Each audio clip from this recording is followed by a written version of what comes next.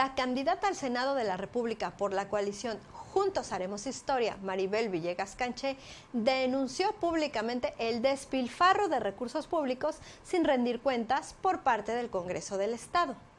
Durante una conferencia de prensa, la candidata expresó que la corrupción es un mal que se expande en todo México, pero aquí lo hace a velocidades voraces. El Congreso de Quintana Roo está gastando sin ningún tipo de control más de 100 millones de pesos. Luego dijo que el actual presidente de la Gran Comisión, quien por cierto era su dirigente estatal cuando ella era panista, Eduardo Martínez Arcira, se ha dedicado a vaciar las arcas del Poder Legislativo realizando procedimientos de contratación ficticios a través de empresas fantasma. Pero fue más allá. La candidata fue diputada local en la decimocuarta legislatura, pero por el PRI, donde el presupuesto también fue millonario.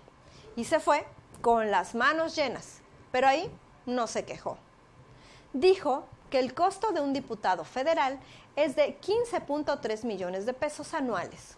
Un diputado de Yucatán es de 7.5 millones de pesos. Uno de Campeche es de 5.2 millones, mientras que en Quintana Roo un diputado local cuesta 17.4 millones de pesos anuales. Pero le faltó decir que cuando ella estuvo como diputada nos costó 14 millones de pesos. ¿O a poco? Ya se le olvidó.